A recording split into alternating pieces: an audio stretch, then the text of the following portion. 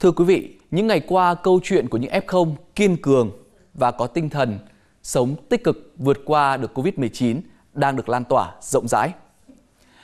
Chính họ là những người đang giúp cho những F0 điều trị tại nhà thêm vững tin và những gì họ đã trải qua là những kinh nghiệm thực tế giúp cho quá trình điều trị Covid-19 tại nhà không còn quá đáng sợ như người ta vẫn tưởng tượng. Hôm nay, chúng tôi xin tiếp tục chuyển tới quý vị một câu chuyện như vậy. Câu chuyện là một cán bộ ờ, hội phụ nữ ở địa phương thường xuyên hỗ trợ các gia đình người mắc Covid-19. Chị Ngọc Linh ở quận 6 thành phố Hồ Chí Minh không nghĩ rằng có một ngày cả gia đình của mình cũng mắc bệnh. Dù có đôi chút lo lắng ban đầu, song bằng chính những kinh nghiệm của một cán bộ tuyến đầu chống dịch, chị đã tự chăm sóc, điều trị thành công cho chính mình và người thân của mình nữa. Khoảnh khắc đoàn tụ quý giá của gia đình chị Ngọc Linh sau hơn một tháng mỗi người một nơi để chữa bệnh. Nhà có 8 người mắc Covid-19 thì 6 người điều trị tại bệnh viện giã chiến, còn chị và con trai tự điều trị tại nhà. Thì tới lúc mà Linh với con bị dương tính thì không còn chỗ nữa. Linh không có bệnh nền và cũng không có bị béo phì và cũng còn trẻ. Cho nên là Linh cũng tự tin và lạc quan. Linh lạc quan là mình sẽ sẽ khỏe lại và sẽ điều trị được. Có kinh nghiệm tham gia chống dịch, trong tủ thuốc nhà chị Linh đã có sẵn những loại thuốc được khuyến cáo. Tuy nhiên chị không tự ý dùng mà thường xuyên tham khảo tư vấn của bác sĩ. Con của Linh là chứng của nó là bị sốt. Bé bé sốt hai ngày rưỡi. Thì dựa trên cái sự tư vấn của bác sĩ Linh ờ, bắt đầu là cho cho con uống thuốc hạ sốt rồi lau mát bằng cách nói chung là trước đây bị bệnh gì thì bây giờ điều trị bằng cách đó thôi. Vì bản thân linh thì chỉ bị ngạt nghẹt mũi, nhẹ và hơi ho, khan nhẹ, ngứa cổ. Mình pha muối, mình xúc họng thường xuyên. Theo cái khuyến cáo của bác sĩ là cách một tiếng là linh xúc một lần. Khi nào ngứa cổ quá thì 15 phút là linh xúc họng một lần, rồi vệ sinh mũi luôn, khoảng à, 4 ngày. Thì linh linh và con linh làm dường như là khỏe hẳn luôn. Chị Linh cũng chú ý bổ sung dinh dưỡng, vitamin để tăng cường đề kháng. Bởi theo tư vấn của bác sĩ, cơ thể càng yếu thì virus càng dễ phát triển. Linh và con phơi nè. sau đó là tập thể dục, rồi à, mình có cái uh, uống vitamin C à, ban ngày mỗi ngày uống một viên vitamin C ăn đủ 3 bữa thì uh, khi mà trong các bữa ăn của mình mình cố gắng mình bổ sung thêm rau củ quả dù sức khỏe không bị ảnh hưởng quá nhiều, tinh thần lạc quan, thoải mái, song chị Linh cho rằng bất cứ ai mắc Covid-19 cũng không được chủ quan, đừng chần chừ đến bệnh viện điều trị nếu có cơ hội. Lưu ý những cái khuyến cáo bác sĩ, trường hợp nào mình phải cần điện thoại và cầu cứu cấp cứu thì mình phải nhớ kỹ những cái trường hợp đó à, chúng ta bình tĩnh lạc quan dù đi cách ly tập trung hay ở nhà thì chúng ta cũng hãy theo dõi sát cơ thể của mình để biết được là mình nên à, điều trị cho cơ thể của mình bằng cách nào và tới đâu lắng nghe cơ thể mình và giữ liên lạc với các y bác sĩ là điều rất quan trọng trong quá trình tự điều trị tại nhà. Theo Trung tâm Kiểm soát Dịch bệnh Thành phố Hồ Chí Minh, hiện nay thì toàn thành phố có khoảng hơn 40.000 F0 cách ly và theo dõi tại nhà. Đa phần là những người khỏe mạnh, không béo phì, không có bệnh nền, tức là khả năng chuyển biến nặng không cao. Hy vọng rằng qua những kinh nghiệm của những F0 điều trị thành công COVID-19 tại nhà mà chúng tôi đã từng chia sẻ trong những ngày vừa qua, thì những người đang có hoàn cảnh tương tự có thể tìm ra được những phương pháp tự điều trị cho mình một cách phù hợp nhất. Thưa quý vị, vào ngày hôm nay thì 300.000 viên thuốc kháng virus Monupiravir tương đương với 7.500 liều thuốc đã về đến Việt Nam. Đây là loại thuốc được sử dụng cho chương trình thí điểm điều trị COVID-19 tại nhà và tại cộng đồng. Bộ Y tế cũng cho biết là doanh nghiệp sản xuất thuốc này trong nước thì có thể cung cấp lô thuốc đầu tiên vào ngày 5 tháng 9. Kết quả nghiên cứu thử nghiệm lâm sàng trên cơ thể người thì cho thấy rằng là thuốc kháng virus này đặc biệt giảm lượng virus rõ rệt, làm sạch virus ở bệnh nhân thể nhẹ và vừa sau 5 ngày điều trị, giảm tỷ lệ nhập viện và giảm tử vong.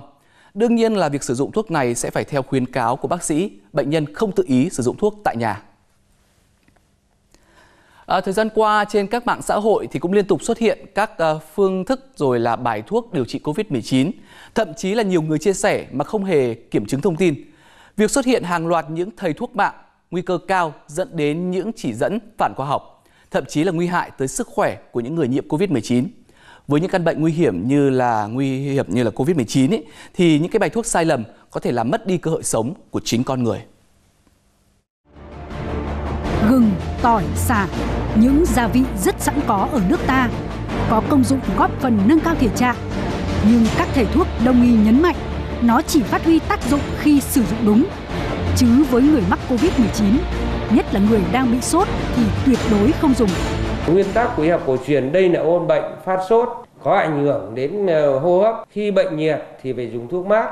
Vậy thì những thuốc nhiệt, ví dụ như gừng, tỏi nó không được khuyến cáo, dùng không có lợi cho bệnh. Nếu ép nước trực tiếp, nước tỏi nguyên chất không theo tỷ lệ 10% như chúng tôi sản xuất thì có thể gây bỏng, gây rát và gây đau cái niêm mạc mũi. Bộ Y tế từ tháng 3 năm 2020 đã có văn bản về tăng cường phòng chống COVID-19 bằng thuốc và các phương pháp y học cổ truyền.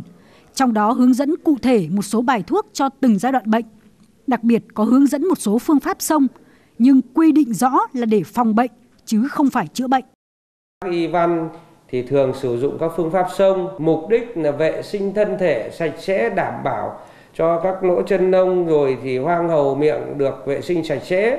Còn khi đã bị COVID-19 thì theo y học cổ truyền xếp và ôn bệnh, bệnh có phát sốt, bệnh có lây lan, dịch khí dịch lệ do ngoại tà dịch độc xâm phạm thì lúc này tuyệt đối không sông nữa. Những bài thuốc sai lầm đã được cảnh báo, nhưng các thầy thuốc mạng vẫn tiếp tục đăng tải và chia sẻ những cách phản khoa học như ăn run sống. Chưa biết có bao nhiêu người đã làm theo, chỉ biết nó đã được lan truyền rộng rãi trên mạng xã hội. Trong y học cổ truyền thì run đất được gọi là địa long, phải được phơi khô, tẩm sấy, sao tán bột thì mới được gọi là vị thuốc y học cổ truyền.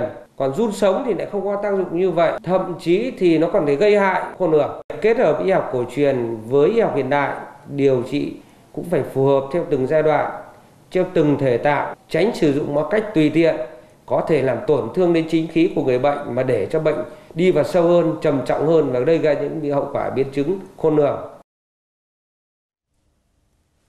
Việc làm theo những bài thuốc, kinh nghiệm được chia sẻ trên mạng xã hội, tự điều trị tại nhà cần có sự tham khảo rất kỹ lưỡng của đội ngũ y bác sĩ. Hiện nay thì Sở Y tế thành phố Hồ Chí Minh đã có những quy định về hướng dẫn về loại thuốc này, rồi những trang thiết bị y tế cho việc điều trị F0 tại nhà. Quý vị hãy cùng tham khảo. Theo hướng dẫn, các thầy thuốc y tế cơ sở sẽ đánh giá tình hình của người bệnh, chỉ định thuốc cho các trường hợp có triệu chứng sớm của suy hô hấp. Đây là những loại kháng đông hoặc kháng viêm có corticoid, nên bình thường không sử dụng quá 7 ngày và có nhiều trường hợp chống chỉ định. Vì vậy, Bộ Y tế khuyến cáo nếu dùng không đúng cách sẽ gây tác dụng phụ, tổn hại đến sức khỏe. Chỉ có thuốc hạ sốt không cần chỉ định, mà cần uống ngay khi nhiệt độ cơ thể từ 38 độ 5 trở lên. Vì vậy, nhất thiết trong gia đình cần có nhiệt kế và thuốc hạ sốt. Tuy nhiên, việc dùng thuốc hạ sốt phải theo đúng hướng dẫn. Nếu quá liều thì nguy cơ ngộ độc cao. Một cách rất đơn giản để phòng tránh ngộ độc đó là chúng ta hãy chọn cái liều trung bình hoặc liều thấp thôi. Với người lớn thì chỉ dùng khoảng 2 gram trở lại. Và tốt nhất chỉ khoảng 1 gram hoặc hơn 1 gram có nghĩa là chỉ khoảng 2 đến 3 viên lại 0,5 gram một ngày tức là 24 tiếng thôi. Còn đối với trẻ em thì không nên quá 60 mg trên 1 kg cân nặng trong 24 tiếng.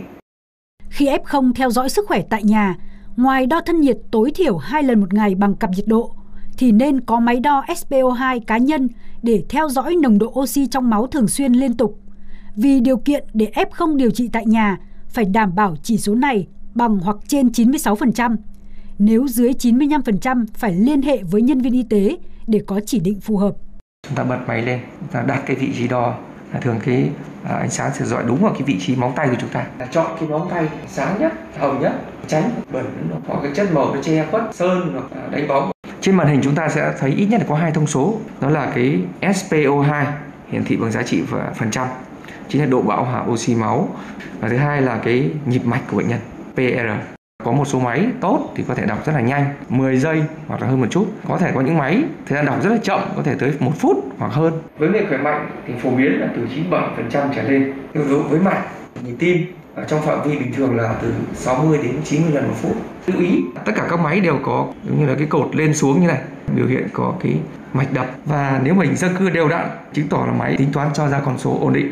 Còn nếu mà không có hình dân cư như vậy thì là máy có thể chưa đọc được kết quả chưa chính xác hoặc là bệnh nhân mạch yếu quá hoặc là huyết áp tụt. Thì đó là một thông số rất là hữu ích. Tuy nhiên thì sẽ phải kết hợp các thông số khác để theo dõi. Ví dụ như là nhịp mạch rồi nhịp thở. Có thể tự đo nhịp thở của mình. Mỗi lần hít vào thở ra là một nhịp dưới 20 nhịp trong một phút là bình thường. Tại thành phố Hồ Chí Minh, để giúp F0 theo dõi sức khỏe trong lúc chờ tổ phản ứng nhanh tới hỗ trợ nhập viện khi có dấu hiệu nặng, thành phố vừa quyết định lập trạm đo SPO2 và thở oxy tại các khu phố và tổ dân phố.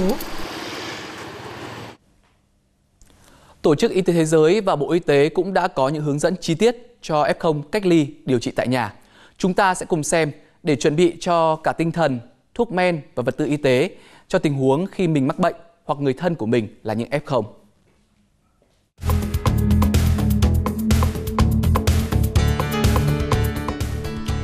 Nhận biết các triệu chứng của COVID-19. Triệu chứng điển hình là sốt, ho, đau họng, mất vị giác hoặc khứu giác, đau cơ, đau đầu. Triệu chứng nặng, khó thở, không thể ra khỏi giường hay tự chăm sóc bản thân, đau ngực, hoa mắt, chóng mặt, lờ đờ. Nếu có triệu chứng nặng, gọi ngay nhân viên y tế để được hỗ trợ.